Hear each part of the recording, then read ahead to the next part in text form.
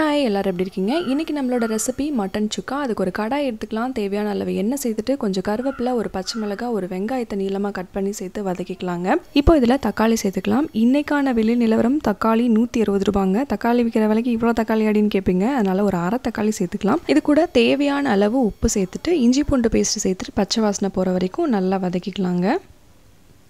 நல்லா வதங்கினதும் கால் ஸ்பூன் மஞ்சள் தூள் அரை ஸ்பூன் கரம் மசாலா ஒரு ஸ்பூன் மிளகாய் தூள். இப்போ நம்மளுடைய இந்த ரெசிபிக்கு செம டேஸ்ட் கொடுக்குறது இந்த பொடி தாங்க. இதில் ஒரு ஸ்பூன் சேர்த்துக்கலாம். இது எப்படி பண்ணுறதுன்றதை நான் லாஸ்ட்டில் சொல்கிறேன் இது நல்லா சிம்மில் வச்சுட்டு கறியை விட்டுறாமல் மிக்ஸ் பண்ணி விட்டுக்கலாம் இது கூடவே நம்ம மட்டன் வேக வச்ச தண்ணியையும் சேர்த்துக்கலாம். அந்த தண்ணியிலே அந்த தக்காளி வெங்காயத்தை நல்லா பாயிலாக விட்டுடலாம்.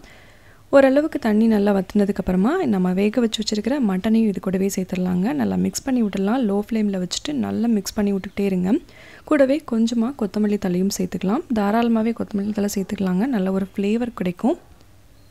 ஒரு ஃபிஃப்டீன் மினிட்ஸ் கலர்ட்டே இருந்தால் நம்ம மட்டன் சுக்கா ரெடிங்க ஃபைனலாக கொஞ்சம் மிளகுத்தூளும் கீயும் சேர்த்திங்கன்னா இன்னும் டேஸ்ட் செம்மையாக இருக்கும். இப்போ நம்ம அந்த பொடி எப்படி பண்ணுறதுன்னு பார்க்கலாம். அதுக்கு ஒரு ஸ்பூன் மிளகு ஒரு ஸ்பூன் சீரகம் ஒரு ஸ்பூன் சோம்பு ஒன்றரை ஸ்பூன் தனியா அஞ்சு முந்திரி பருப்பு கூடவே ஒரு சின்ன துண்டு பட்டை நாலு கிராம்பு சேர்த்துட்டு ஒரு ஏலக்காய் சேர்த்து நல்லா ட்ரை ஃப்ரை பண்ணிவிட்டு அதை அப்படியே அரைச்சி எடுத்துகிட்டு வந்துடலாங்க. முந்திரி பருப்பு சேர்த்திங்கன்னா இதோட டேஸ்ட்டு ரொம்ப ரிச்சாக இருக்கும் செம்ம டேஸ்ட்டாக இருக்கும்.